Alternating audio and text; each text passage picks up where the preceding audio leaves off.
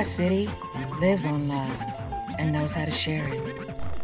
Even when we can't embrace one another, we put up a fight and always fight for love. No matter what the circumstance is, we work together as one.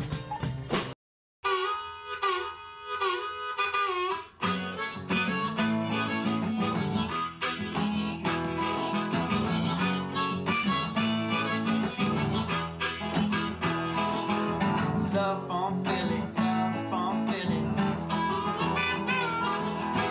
love on Philly.